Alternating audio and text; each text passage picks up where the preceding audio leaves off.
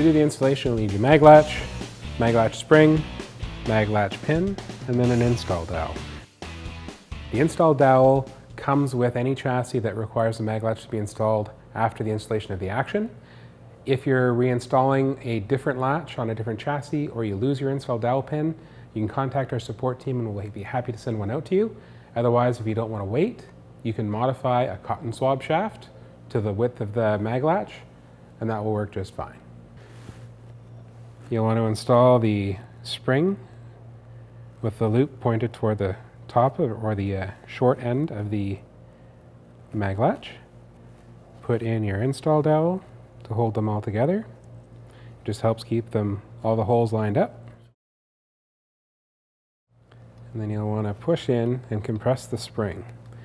What you're going to need to do is look through the little hole and make sure that you can see that install dowel.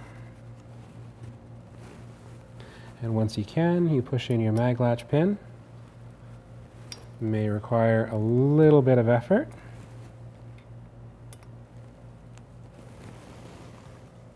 Sometimes a little bit of extra effort. So what I'm doing is I'm using the mag latch pin to push out the install dowel. Now the mag latch is installed and you're ready to go.